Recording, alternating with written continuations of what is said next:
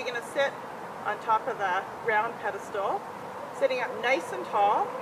Knees are together, heels are together. Good form, good posture. You want to pull your belly button in right towards your spine, holding it there. Hands on the front bar for safety. And you're going to twist yourself side to side. You want to make sure that your shoulders stay forward, eyes stay forward. So it's just your lower body that you're controlling through movement.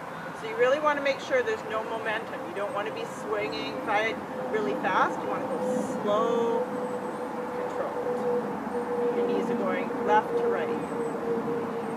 The other exercise that you can do at the station, if you prefer to be standing, you are still focusing on the same core muscles.